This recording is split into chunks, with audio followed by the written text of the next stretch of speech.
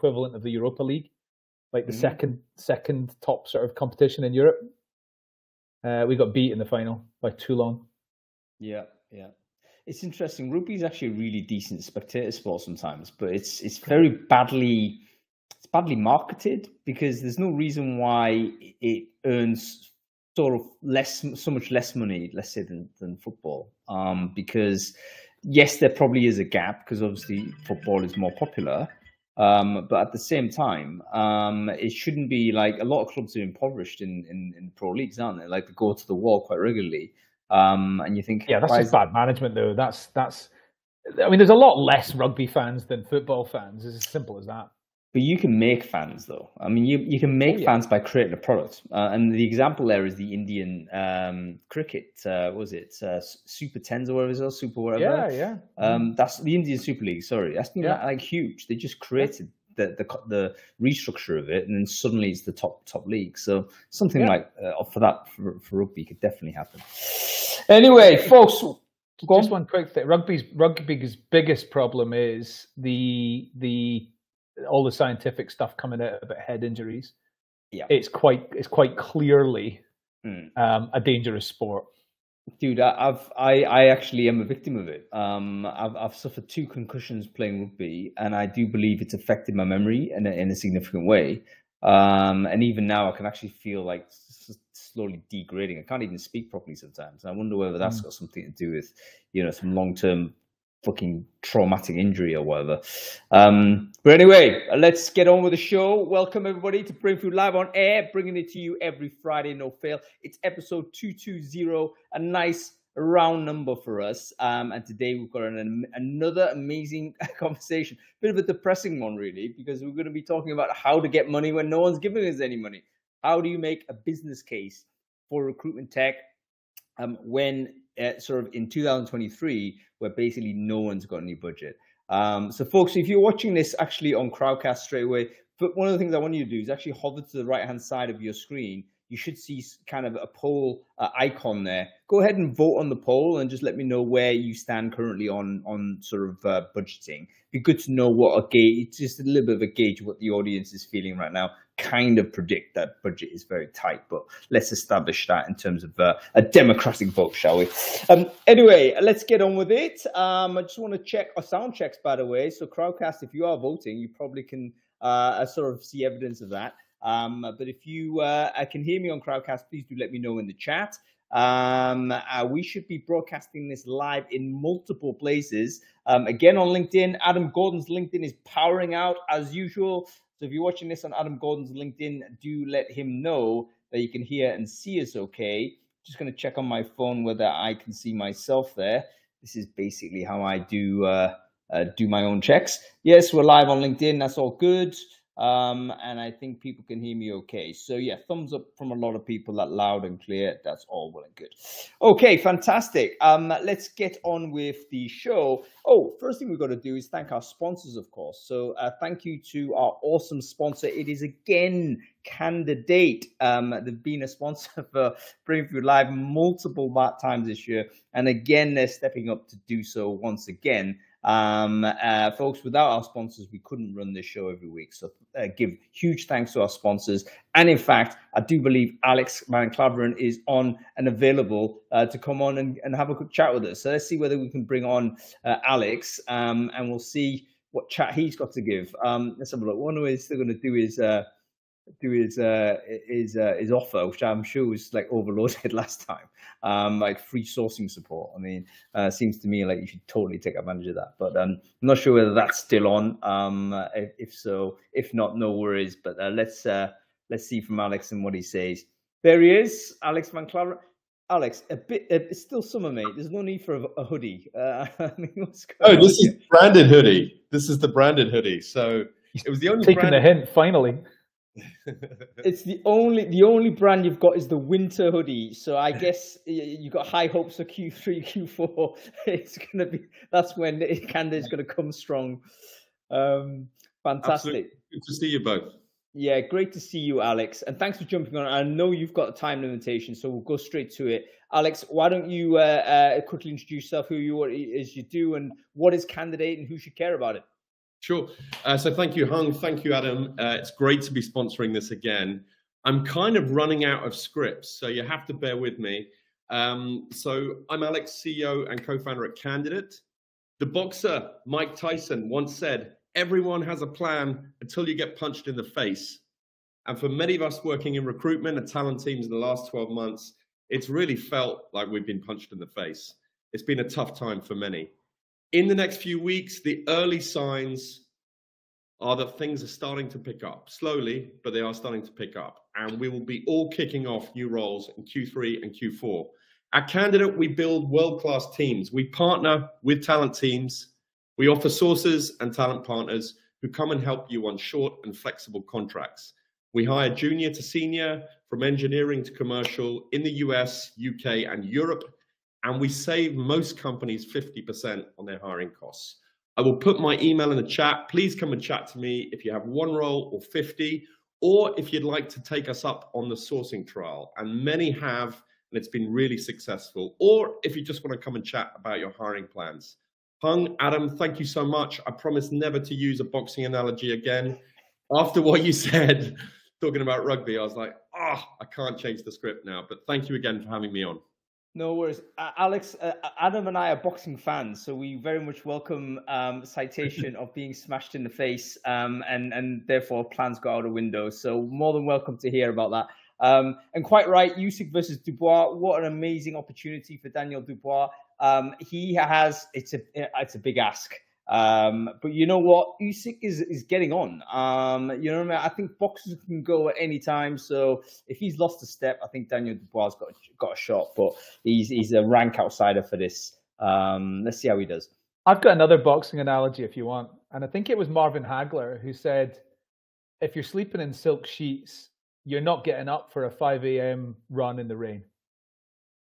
Yeah and and that's actually evidence uh, of someone who's like basically has achieved the luxury or the success enjoys the reward of the success and therefore loses the hunger uh, lo- or loses the edge to uh, when it really matters. I think that's relevant to entrepreneurship as well to be honest with you. Um, it's, it's very relevant to that. But like anthony joshua used to used to sleep in a like a dormitory when he was doing his training in sheffield and I just wonder, and he was very proud of that, like with no mod cons at all. And I just wonder if he started sleeping in the Radisson or something instead. Yep, I, mean, I, I sleep in the Radisson, and you know what? I'm a useless in the ring. So, that's, that's all the evidence. That's one data point. That's and, all the evidence. And Andy Ruiz would smash you as well. Yeah, as a result. One hundred percent. Um, all right. Well, listen, Alex. Wonderful. Let me quickly remind the offer. You're still um, anybody who wants to basically apply for it. Get in touch with Alex, and, and basically you have a chance at getting free sourcing support, where basically you might get twenty additional candidates in your pipeline. Why not take advantage of it? It's completely free to try. Um, go ahead and get it. Um, no reason why not. Don't be complaining to me that you don't have resourcing support. Here it is for free. Um, Alex, okay, listen, I've got to let you go. I'll see you soon, mate. Speak soon. Cheers, Adam. Cheers. Cool. Um, we've got Angela Cripps in the uh, the chat there, who's banging on about who's Daniel Dubois' number one fan fan club. There, it looks like. Um, uh, but uh, but yeah, listen, uh, all all the best for Daniel. I hope he I hope he does it. But Usyk is a slick customer. All right, let's get on with the. Uh, Nick Thompson's just said, by the way, the difference between Usyk and Dubois so Dubois doing his like um, media workout yesterday, and he was in like doing proper like hitting the pads, like smashing the pads, and Usyk's on there dancing like proper fucking disco dancing. I think he had some like EDM on. I'm he probably does. Uh, he's a very uh, obviously. I'm a big fan of Usyk as well. I think he's a really brilliant boxer, but um, could go anytime. Let's see. Let's see. All right, let's get on with it, Adam. Let's review the newsletter. Did you read it? What was interesting? Give us a couple. Uh, yes, uh, let's talk about uh, economics first. Um, the Credit Suisse Global Wealth Report was very interesting. Um, for the first year since 2008, global wealth has declined, um, which is quite interesting. It's declined more so in like the traditionally wealthier areas like North America and Europe than it has anywhere else. And there's also been a what they describe as a reduction in wealth inequalities. So the global top 1%, their percentage of overall wealth has fallen to 44.5%. Now, I can I can appreciate that technically there is still a, a, a decline in the inequality there, but I mean the top one percent still owns forty four 0.5% of the global wealth. Um, shows what kind of world we're in. It, indeed, it does. By the way, this is an economic report, but uh, it used to be Credit Suisse before they got uh, took over by UBS. But UBS now produce it under their brand. It's a global wealth report. Um, it's essentially trying to track what billion, you know, how many billionaires there are in the world, but also track sort of um, where you know the, the average mean is in terms of you know where we're doing in terms of our, our own sense of well-being. Reason why we've declined, by the way, it's very clear. It's decline in, in North America and in Europe is cost of living, interest rate rises. Basically, it's been bleeding us out um, over the last 18 months or so in terms of our wealth. Uh, that's why there's been that decline. But anyway, worth a look. I particularly like the idea of, you know, from a recruiting perspective, you could think about which areas of the world might be starting to boom a little bit. Uh, perhaps that's going to lead to more consumption or more investment or whatnot. Uh, could be interesting for recruitment business owners or anybody trying to launch product um, or getting investment or whatnot. And I think the sectoral stuff as well. So, so it's one of those where if you're able to take a strategic view on things and have a think about where you want to do some positioning, either for yourself or for your business, if indeed those two things can be thought of separately these days, then that is the sort of report you need to be having a look at. Um, okay, share the link in the chat stream there. Uh, go check it out.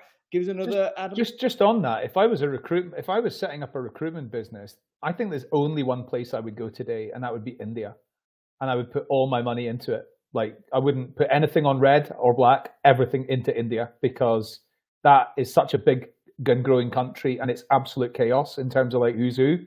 So that's part of the reason why I wouldn't do it. Um, because I, I'm intimidated by India in the sense that I think everything kind of looks familiar, but it won't be. There'll be so many, so many local nuances as to how things are done that I don't think it's going to help an outsider coming in. I think the local Indians will have a significant advantage to any interloper coming from the outside. Uh, but anyway, um, I, I, think interesting for sure.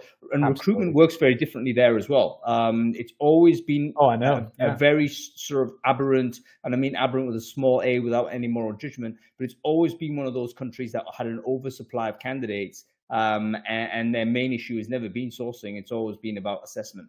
Um, and can you kind of assess quality of candidate, et cetera, et cetera. So, well, it's also about um, people turning up. Turn, yep. like getting getting offered the job and then actually not turning up on the day they're meant to start. Yep, uh, loads of that. Uh, we did a really early survey on this. I think 2017, India was very clearly uh, as as separated from everyone else. Every other country said can't find candidates. India said, you know what, we can't actually trust candidate information. Um, so uh, we'll, we'll see that we'll see that again uh, when I finally complete the What Do Recruiters uh, Want survey in 2023. I'll make a big push on this after this bank holiday. Okay, give us one more, a couple more actually. Um, yeah, LinkedIn, linked from LinkedIn Insights. Uh, yep. I think the article was headed something like, "Do you want to be a talent leader?" something like that.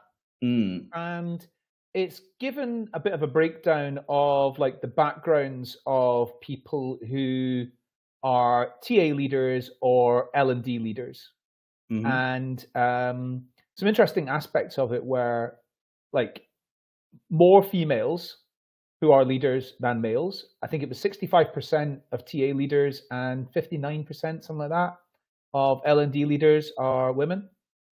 Of the TA leaders, it said 68% of them came from HR jobs.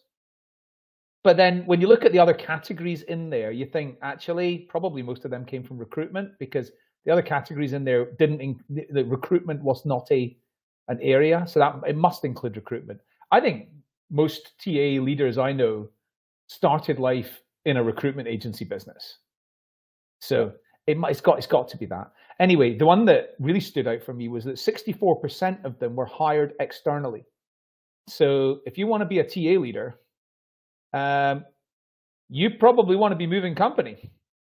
Yep, it, it's actually the, the the most significant finding that I thought as well. Um, like why, and that surprised me actually because I, I, obviously know a lot of people been promoted, but it seems like uh, yeah, a little bit excessive. I don't want the benchmark is, but it seems that okay, you want to achieve leadership, then step into uh, the external role. By the way, I had a lot of problems with with this post. I wanted to share it because I thought actually it just touched on our industry, of course, and it was from LinkedIn with you know apparently six hundred thousand data points. Uh, but yeah, there were issues with how it was categorized nonsensical for me to say that actually vast majority of people started recruitment from a different function. No, most people started recruitment in recruitment um, as recruitment agencies. Uh, we know that, um, and uh, and yeah, this was they probably confused HR and TA a little bit, um, yeah. and they also there was some categorical issues with it.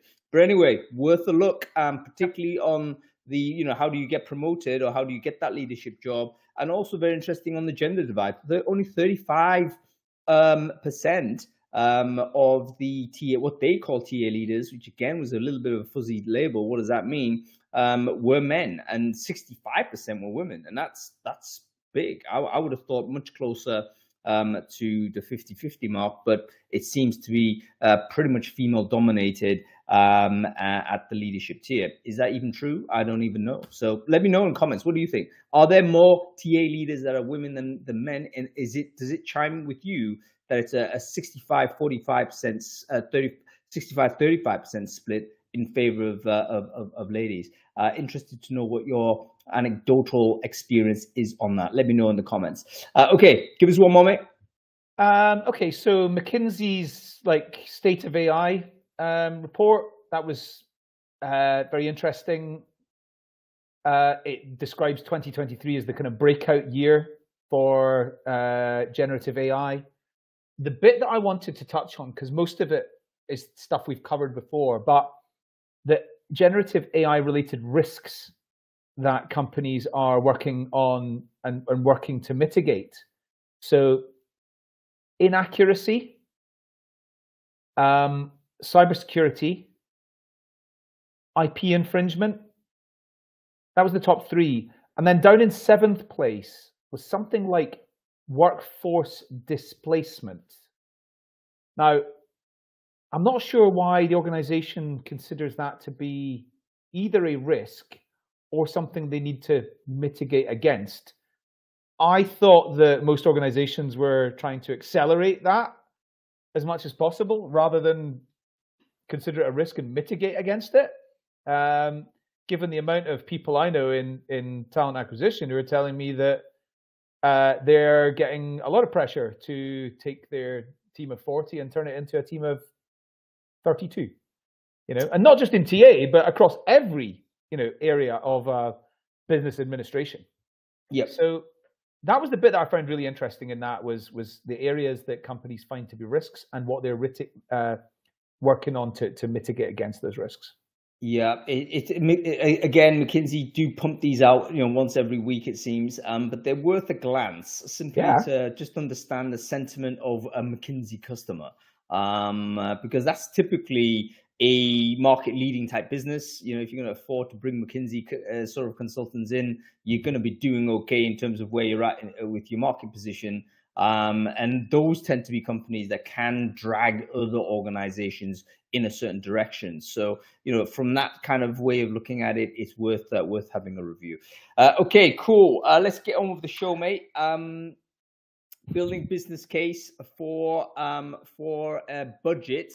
Um, I mean, this is going to be interesting. You've been a, a sort of a, a, a, a recruiter. You've been a, service provider. You've also been a recruitment tech person. Um, so obviously, everyone's got an interest in doing this. I personally have never done it as an internal person to try and build a, big, a budget, uh, mm-hmm. sort of a business case for a, for a significant uh, purchase. So I'd be really interested to know what the techniques of uh, of doing that might be.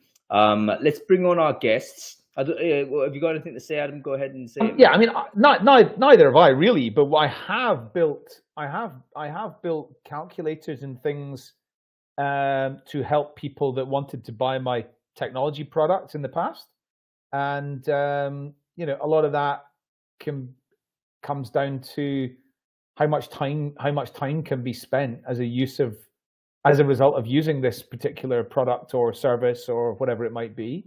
And therefore what does that turn into in terms of money? Um, i know that here's Nick is going to probably tell us that we want to connect it directly to revenue as well. So yeah, looking forward to uh, looking forward to finding out what our guests think. We will see. We will see. So, okay, we've got both our guests on. Fantastic to see uh, Nick Thompson and Arielle Killroy as well. Uh, okay, why don't do some quick intros? Uh, Nick, can you quickly introduce yourself? Who are you? What it is you do? Uh, hi, I'm Nick Thompson. I lead talent marketing for IBM. Um, and Hung, thank you very much for sharing my LinkedIn profile. So there's even more over there. Um, and also an absolute geek in our space. Yeah, fantastic. And you recently delivered a really very highly rated talk on exactly this topic, didn't you, Nick? Um, on on RecFest, which is what I wanted. I missed it, so hence I'm kind of getting you in on this, just to uh, backfill what I just want a personal recap, don't you? Um, don't you? Oh, I get it. I get it. That's right. Um, and we've got Arielle Killroy as well. Arielle, great to see you. Um, can you quickly introduce yourself? Who are you? What it is you do?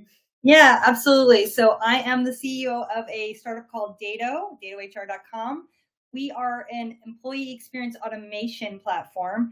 And because this is a new category of software, I help prospects create business cases to get budget um, internally all the time. Additionally, I used to procure a lot of software uh, pre this time. So I have a lot of experience building business cases for six and seven figure uh, projects.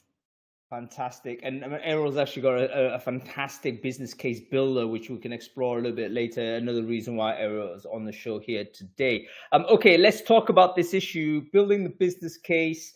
Um, who really does that? I mean, I guess there's multiple tiers of it, isn't there? I mean, if you're an operating uh, individual con- contributor, presumably you'd be building a business case to your departmental head.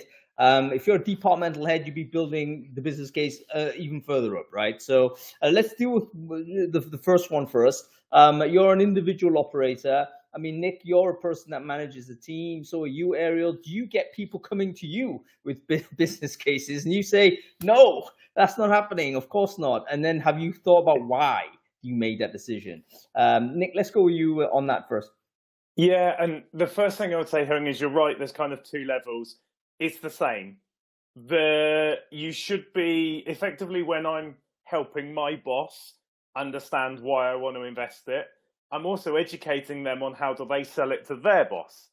So there isn't a two-stage process. There's a a two-person review board of it, but they're often the ones that are parroting what you tell them. So I, whenever I create a business case or I create a proposal, I'm doing this for our CHRO, I'm doing this for our finance team. I'm helping the people in the middle understand it.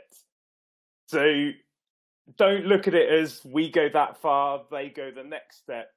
It's the same experience almost. All right, really, really important point. Understand the person you're pitching to, unless they are the CEO that actually has the, all the money. If, unless you have that direct relationship, there's a chain of command and you've got to equip the person ahead of you to make the case. And i would guess part of the reason why people would say no to you is because you've not done you've not done that.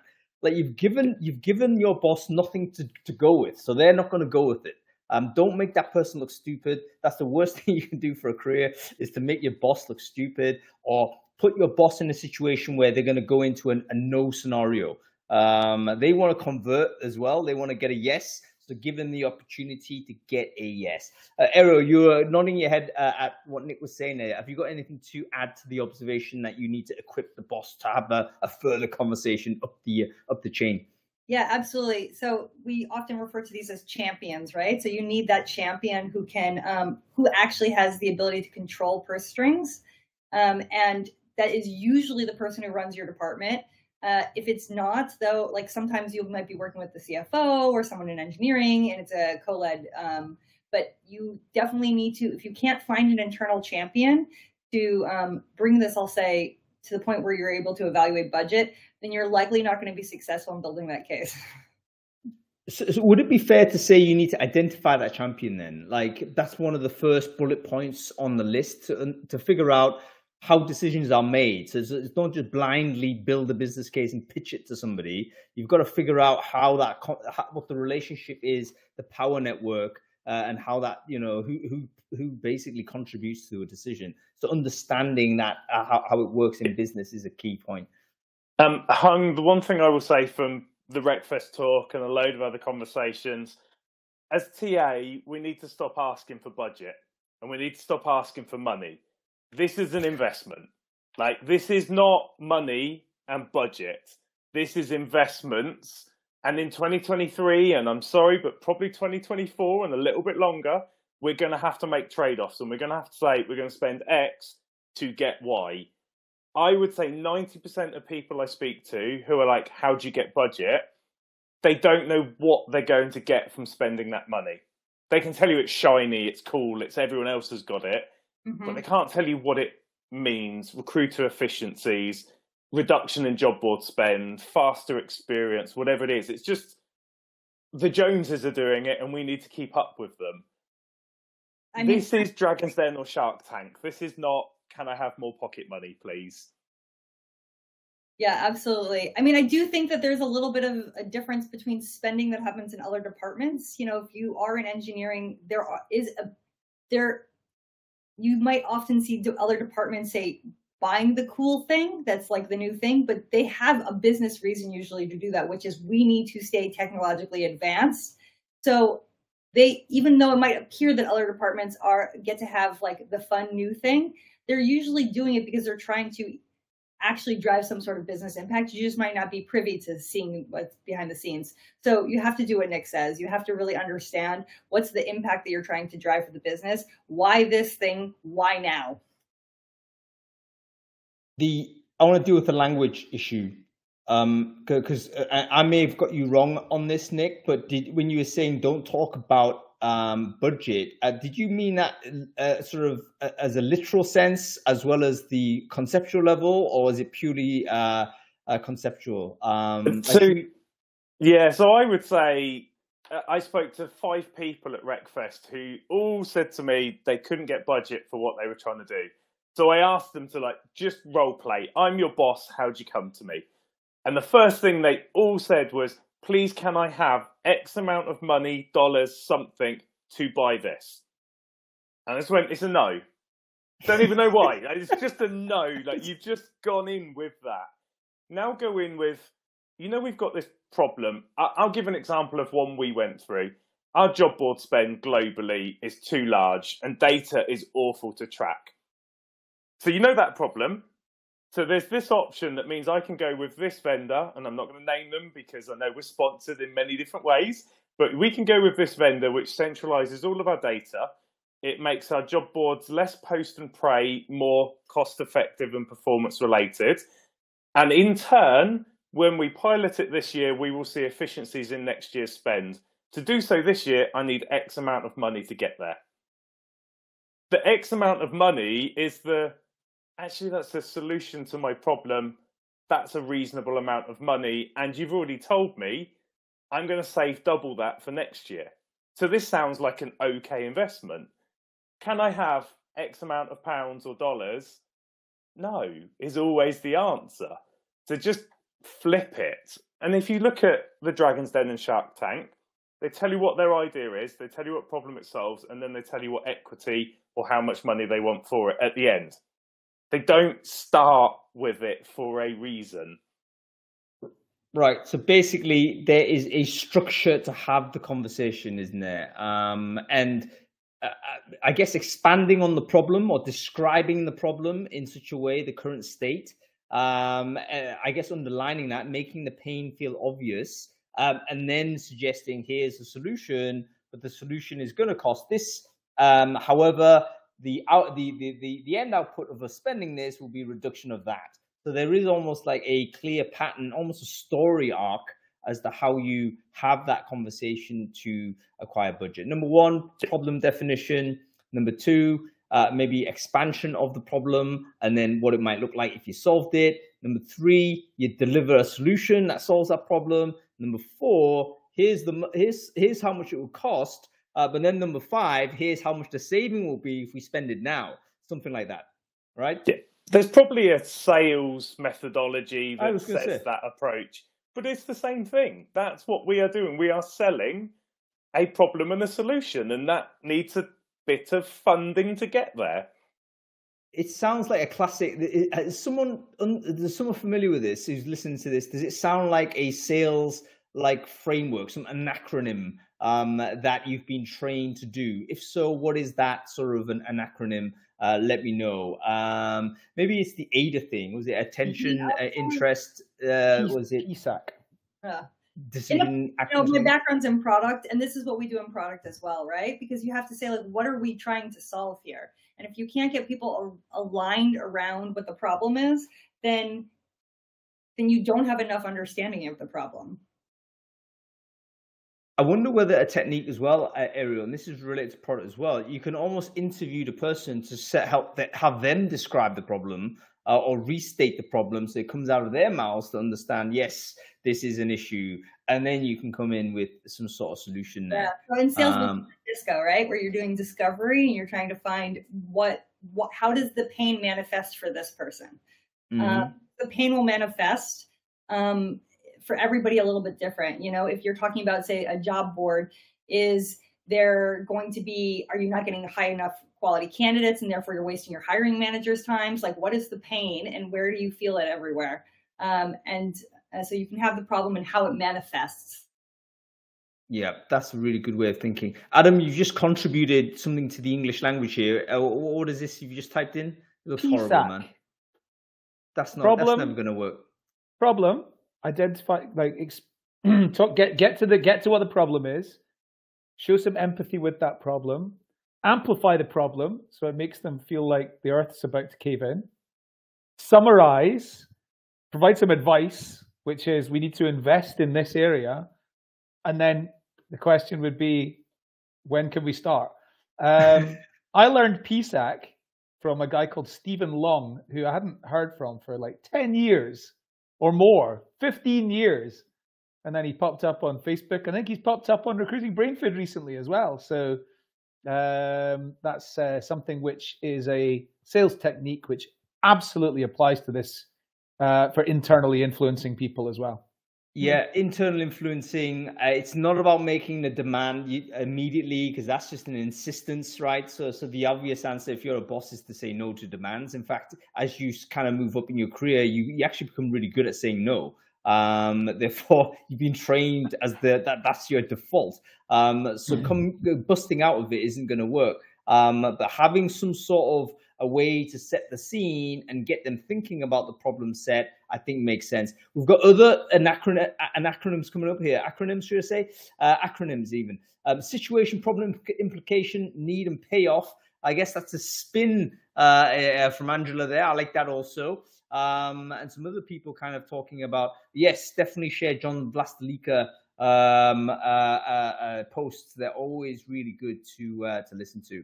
Okay, fantastic stuff. Um, how do we know? Sorry, I'm going to say something. Yeah, I was going to ask. Do, do do we think is it important to be able to say like to be upfront about what the trade-off's going to be? So we're spending far too much money on these job boards, but if we take the same amount of money and do this with it instead, we're going to get an uplift in whatever it might be, or a reduction in whatever it might be. Um, is it important to do that because that way you're not asking for money, you're just reallocating resources? Does that help? I was going to say this is the biggest piece, and I know Hung, this is how to get budget in 23 when there isn't any. There is. As we should always be reevaluating and resetting and checking what we're doing, how much of our spend across everyone on this call is habitual spending? Is yeah. we had it last year, we're going to keep doing it. Yeah. yeah. This is a, you're about to hit that point in the year. Mm-hmm. Just stop. Don't repeat what we did this time last year because everything you folks st- spoke about at the start of the call says the economy is not what it is, the world is not what it is.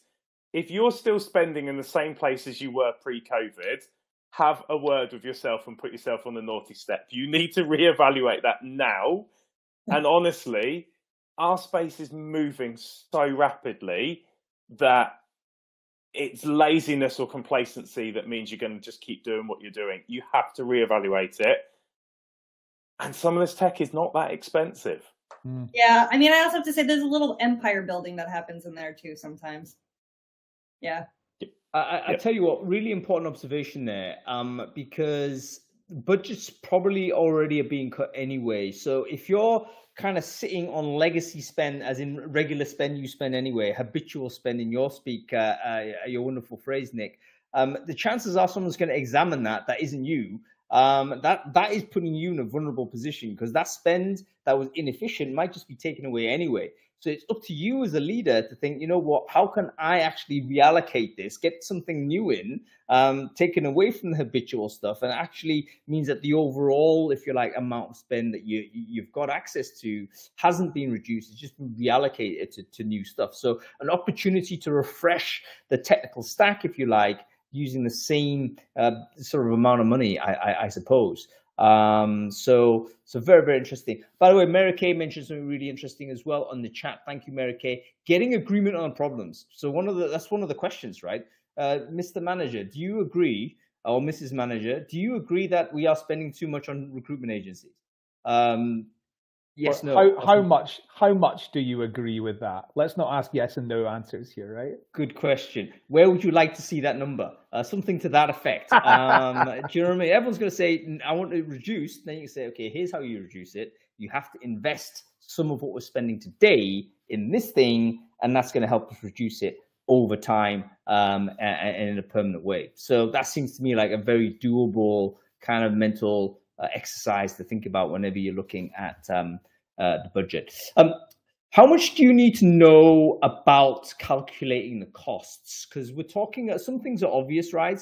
As uh, we're spending on X, we want to divert it to spend on Y. But other things like recruitment inefficiency or you know time to hire, like, do we need to put a cash number to some of this in order for us to? Yeah, exactly. I mean, pretty soon you might end up having a massive spreadsheet, let's say, of all of these inputs. Yeah, and it'll be like, oh man, this seems like too much work. But do we need to actually do that? Would it be useful, or is it realistic even to try? Uh, any thoughts on putting, a, I guess, a cash number on what may may not be directly obvious costs in the current way of working in order to build a business case for the next phase? I mean, thoughts I, on that, Arielle? Yeah, I think you have to do this because the reality is, is you if you're solving a problem, one of the problems is say, for instance, organizational efficiency or workforce efficiency, then you need to say what the before and after looks like. And that is going to be determined by costs. Um, time is money. we know this, right? And um, and this is where most of your overhead as a business goes into is salaries anyway. So if what you're saying is that we can't afford to hire five more people, um, but we can save each one of our people in our say engineering department five hours a week, um, which basically gives us two or three extra headcount, then that's a pretty big impact, um, and it will compensate for the the investment that it takes to get there. Let's take that a little bit further, um, and this is going to be a slightly taboo question, I think. So. Um, Arielle, let me you... just let me just hover over the mute button here. Uh, let me just make sure I'm I'm ready to go. Arielle, you, you used the phrase workforce efficiency, and the example you just gave, we could take that a little bit further, which is I'm a manager and I want to be able to achieve this. And I know that if I buy that service or product, I'll be able to do it. And that service or product is going to cost me $100,000. And actually, it's going to mean that I don't need those four people who cost me $160,000 between them.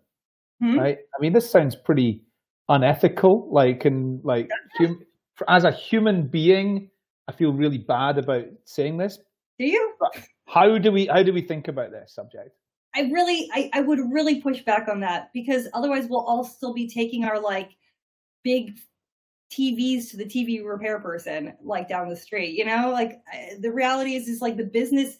If the business doesn't stay competitive, then everybody on your team will lose their job. So that's it's absolutely right, Arielle. It's like it sucks. I'm not gonna lie, it sucks. It's the worst part of it. But there is also an element of if we don't make that informed decision, that informed investment, finance, who know nobody, will do that. And they just look at the list and go, this cost, this cost, this cost, they go, and you end up with your entire business being run by your interns because they are the cheapest. Mm-hmm and yep. there are points that it it doesn't work, but also there's a piece there about Adam, you went to the extremes of they have to leave the business. What if we can take that over to do additional work, which also reduces spend? You often hear we use agencies because we don't have specialists in that area. Well, why don't we make these people our specialists in that area? So it's a the two year, three year model on this. Mm-hmm. Year one, save a load of money. Year two, save a little bit of money. Year three, we've saved even more money than year one. And investments are, again, hung so often it's like, this is what we're going to get today. This is what we're going to get now. Businesses are businesses, and sometimes you have to spend a little to save a lot more over the coming years. And people need to look at those two, three year cycles and present a more rounded figure. But it doesn't always mean people need to leave the business, Adam. No, what quite I a lot in 23 they do, but not always. yeah, what I would really say is like this is becomes an opportunity then to, um, you know, as as you said, retrain or upskill these people, but also people want to have satisfying jobs. If you know you're doing a job that is a ticking time bomb to be replaced by a piece of technology, there's no way that's bringing you joy. It might pay your bills right now, which is of course important. That like let's not disqualify that. But you're really denying someone the opportunity to be even more employable later by um, investing in them compared to yeah. just keeping them down. No, I think so. So I think Adam, you made a very very valid point. Like, what is the ethical consideration? But at the same time, maintaining maintaining no maintaining uh, an inflated team um, that's running inefficiently is is a short term play, and that's not going to last a long time in yeah. in this market that's going to come down on you because the, the CEO or the, eh, the CFO is going to make that change. And guess what? If the CEO and the CFO don't make that change, the entire business might go under with, with this type of approach. Um, so someone has to make that decision. You as a leader, it's up to you to do that for the department.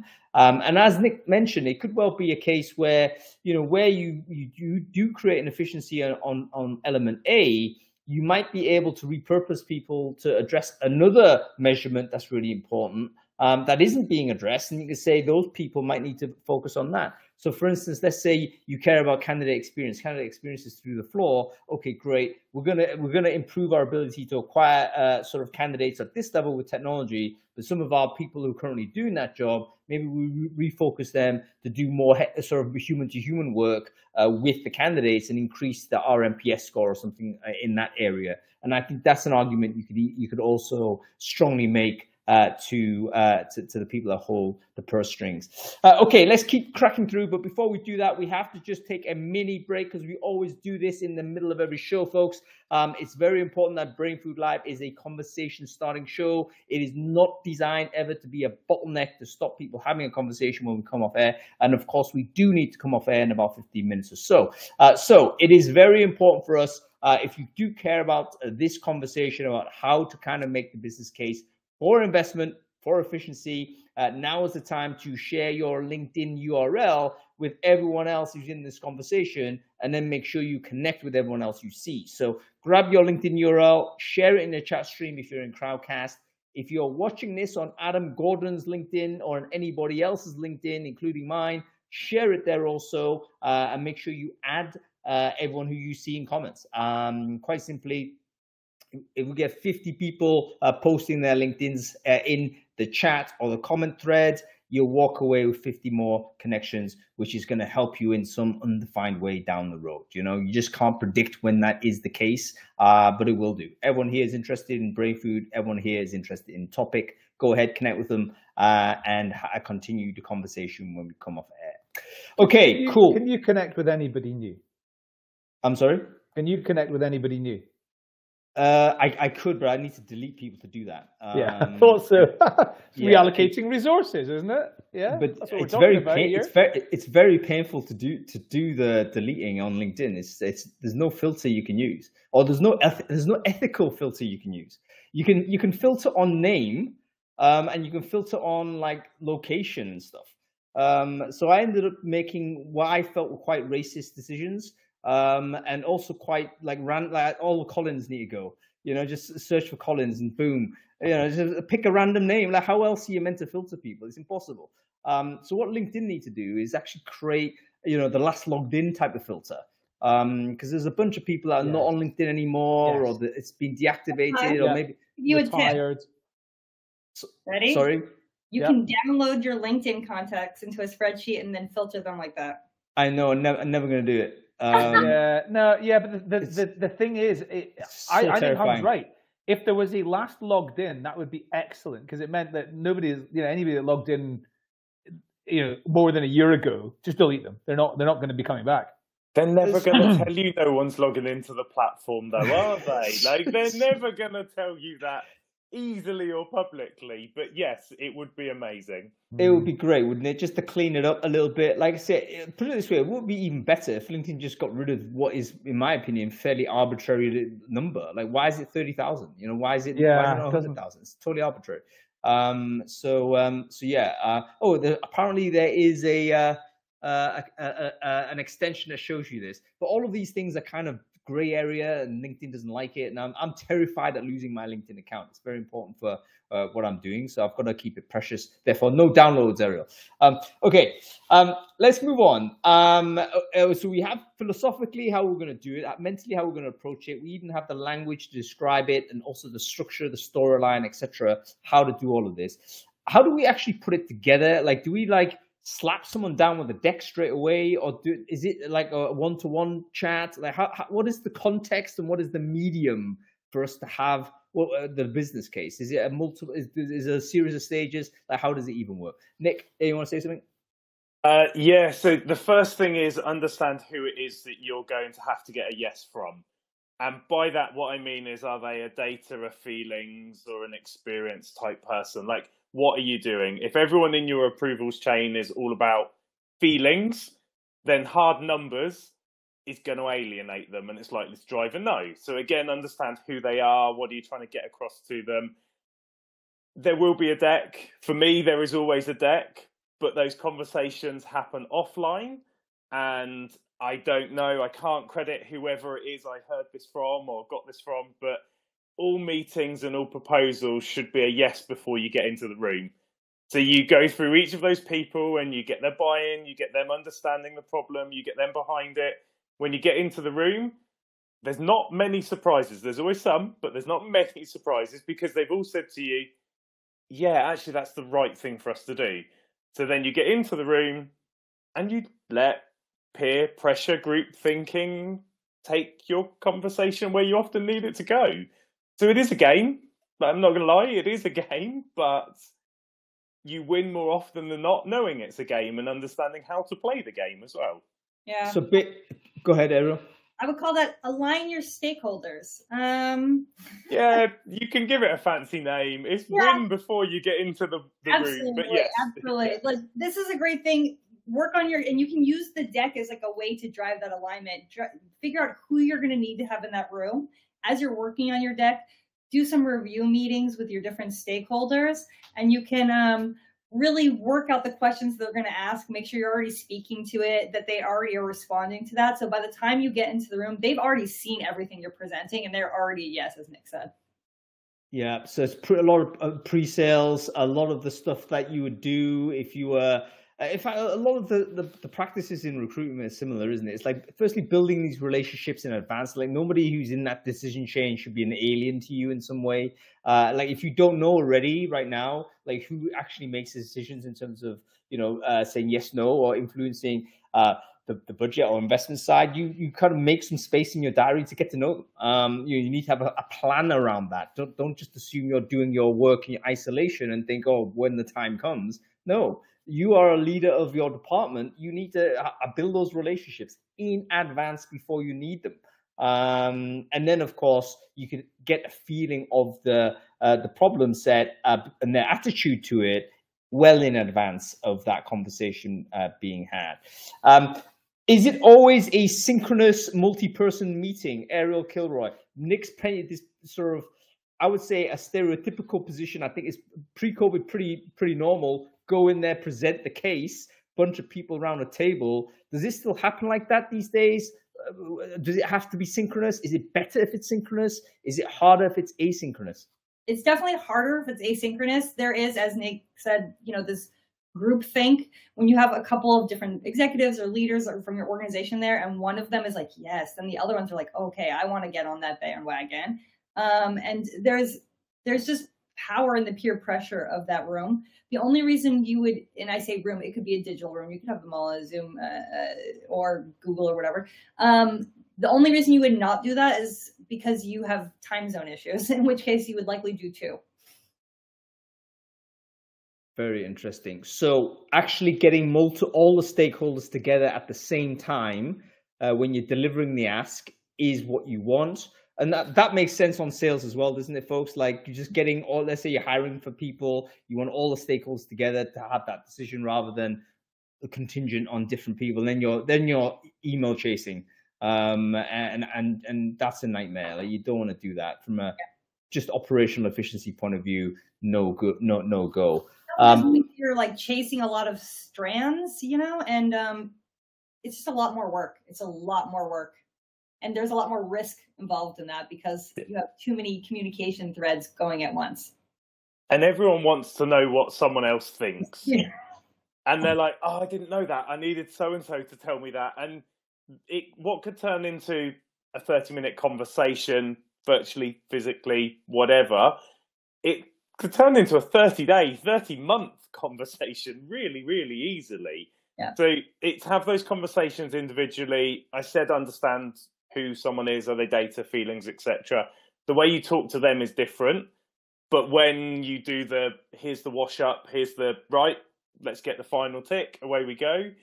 You've got a nod to everyone's wants and needs from this. They fully understand it and you're you're going through there. But it is just so much easier to get all decision makers in the room together as much as you can and it's it so much of this is down to speed and at some point if this is going to take us two years to get this investment through of keep pushing it is the return there because I, I hadn't built in spending two years to try and get 20 grand budget to get this approved it suddenly is now not worth 20 grand anymore because i've spent 90 grand of my time trying to get it approved.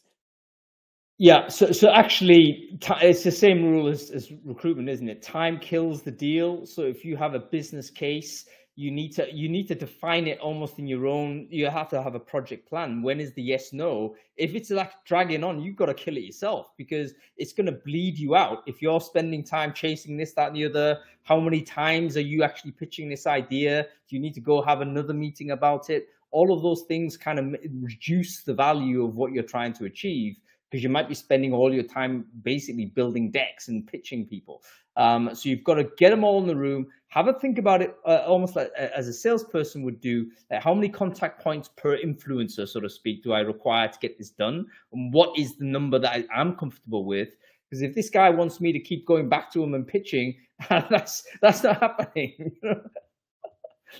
Hmm. very very good. Um, Okay. Um, do we have any final bits of advice for people who are currently?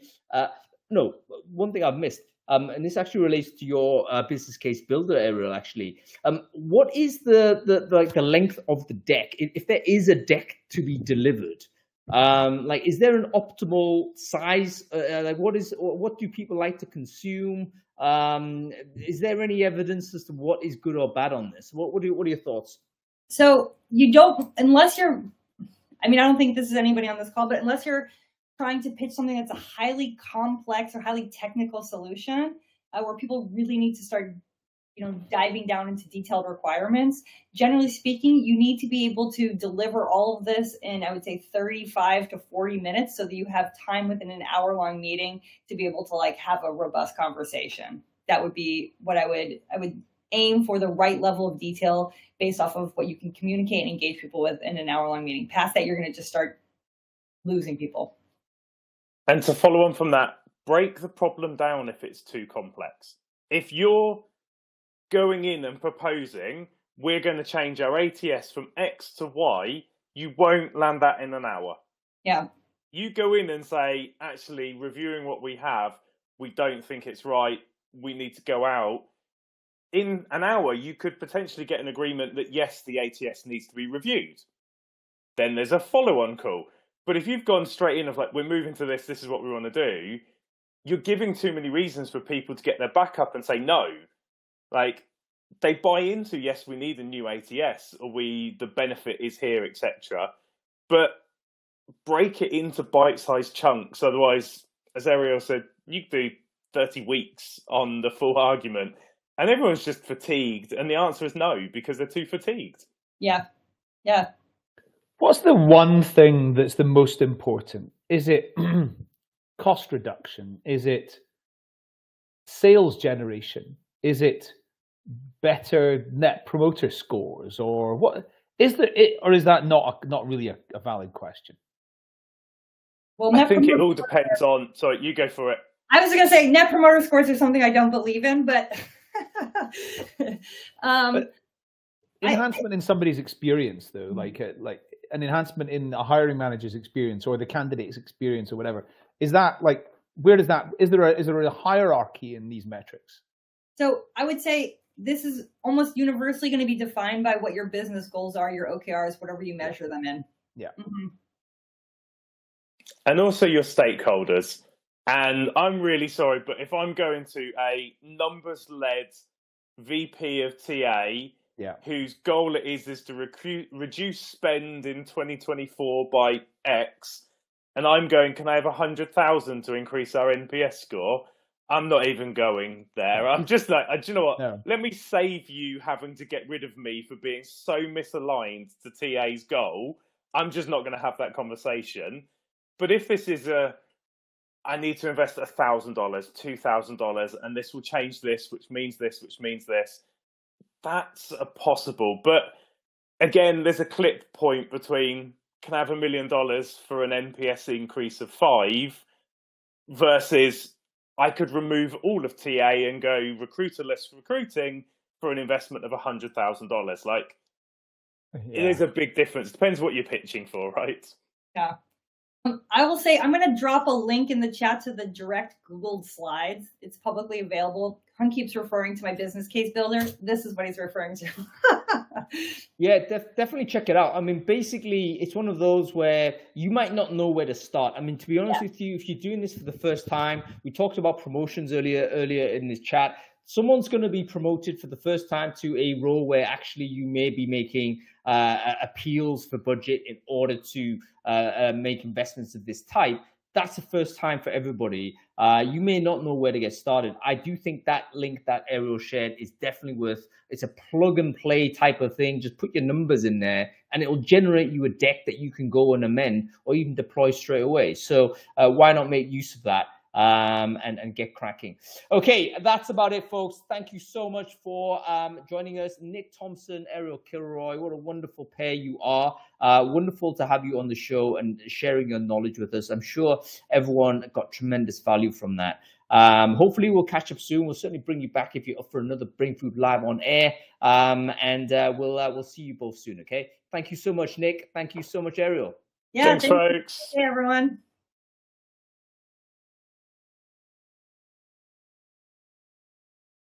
That was cool, wasn't it? I think it was yeah. it was it was really interesting, folks. By the way, we're finishing off the show. Let me just conclude. About thank you for watching. Hope you enjoyed it. Uh, make sure you follow the channel. We have a new link, by the way, to uh, the uh, Brainfood Live channel. Um, we're close to three thousand followers on there. So if you are watching this now, follow the channel also, um, and you'll be notified whenever we go live. Um, next week we are going to be talking again, focusing on TA leadership career tips for progression for TA leaders. So if you are a person that wants to be a TA leader or you're a TA leader that wants to step even further in your career, how do you do that? Uh, what is the techniques? What are the approach? What's the mindset? Uh, we've got we've got uh, Anais Newman who's going to come in, uh, Neumann even who's going to present with, for us um, her wonderful uh, talk on performance and profile and we've got a bunch of people who've had success in their careers. They're, they're basically going to uh, sort of share us their insight and knowledge there as well. So make sure you register for that show, uh, and we'll see you there next Friday. Um, cool. Anyway, pretty good, I thought. Hey, Adam. Yeah. So um, here's something. Here's something we're, we're doing in our in our new product. Always top right hand side, there is a value total which will say exactly how much the value of the assets in the product are. And there's also a, time saved, cumulative, right? I had a joke with somebody the other day about we could take it to a next step, which is when that amount of time saved gets to a certain point, it then sends a message which says, ding ding, 37.5 hours per week, you can get rid of hung now. get rid of hung in fucking one hour, mate. Um, but um, but yeah, a bit aggressive. I think we'll, I think we won't do that. Yeah, no, but I tell you what, that's actually a really good feature. I think to, to just get people thinking about revenue a little bit more and, and what time is, because time is important. Um, and and we need to you know optimize. I mean, everyone with this has been the year of do more with less, right? So um, so yeah, that's exciting, man. That's good to hear. Um, uh, uh, sort of where you're at. Um, and what's going on with it? Are you still sort of getting? It was still onboarding people, or is it like uh, very very early for beta, or what?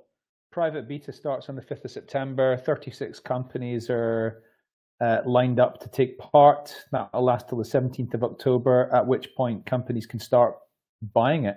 Um, cool. And yeah, very, very scared about 36 companies. It's far too many to have agreed to. I, have told about 30 companies they can't do it yet because they didn't quite fit the right profile. But 36, like when, when, when I mean, it was last night. A well-known German automotive company filled in the form to say they want to take part. Head of talent in that business. I'm not going to be saying no. Uh, yeah, you, you got to just get part. them on board. Yeah, you've done a brilliant job marketing this, by the way. It's been really good. Um, a, a uh, real good example. Um, Thank you. Yeah. Anyway, what's happening this weekend? It's bank holiday weekend. Is it? It's not for you, is it? Uh, uh, it? it? it? might have to be. I've I've been uh, I've actually been in hospital this week. Um, really? Yeah, yeah. I've been I've had a I've had a really really bad headache, and they were a bit concerned that I might have a bleed on my brain. So oh, I went into uh, went into hospital, got a CT scan. Uh, that didn't reveal anything. So the next step was they did a um, oh a, a lumbar puncture. my God, that was not not pleasant at all. What the um, that involve?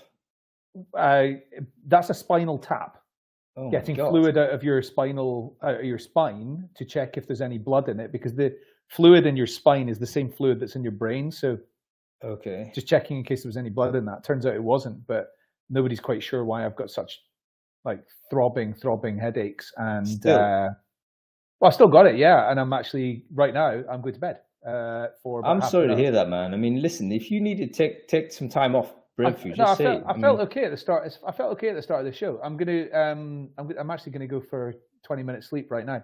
Uh, I yeah. was on a show yesterday, a TA Tech thing. I, I actually had to leave, um, which like in the middle of the webinar, which was um, pretty bad. I've never had to do that before, but I, I, I felt okay at the start, and then I could see myself just going whiter and whiter and whiter and feeling really bad.